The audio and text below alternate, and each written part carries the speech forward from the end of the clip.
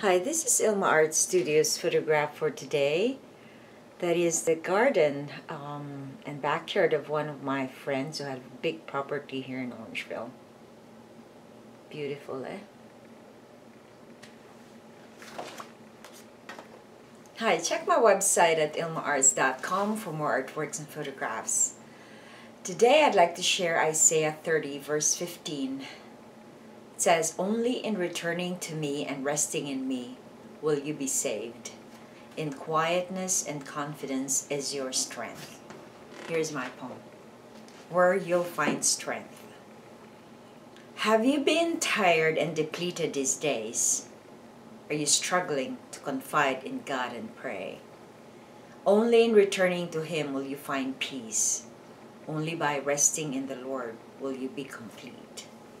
In quietness and confidence lie your strength. There is no need for worry. Jesus is your friend. Go back to Him and you will never be weary. He lights up your life when your life is dreary. Here's my essay. When was the last time you felt so depleted?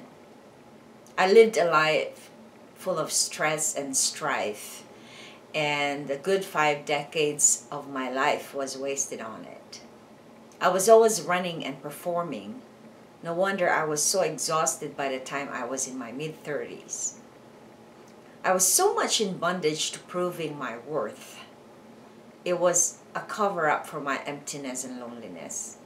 Because I was very driven and stubborn, God literally allowed for me to be sick to a point where I was helpless and bedridden for many months.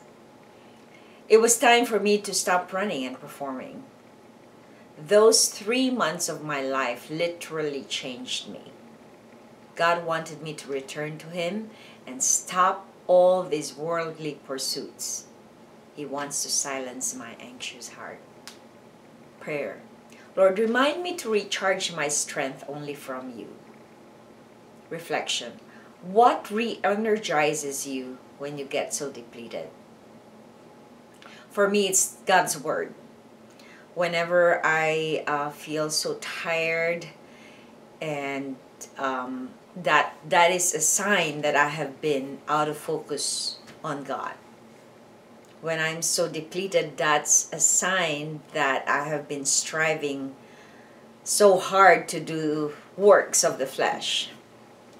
When i'm tired and exhausted that means that um, there is a voice that I'm hearing that is not from the Lord. Because God doesn't want us to hurry. God doesn't want us to be to be wasting our time on worldly stuff that does not nourish our spirit. So that's what re-energizes me, reading the Word of God, hearing teachings uh, from the Bible, from different people, um, studying and praying.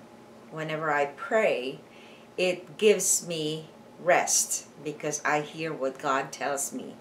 And I know I'm, it's not literally hearing as in, because God talks to us in many different ways. It's not just audible voice that you hear, but it's sometimes a thought in your mind that, you know, that will be good for you. It's something that edifies the Lord and that makes you um, a complete and a better person.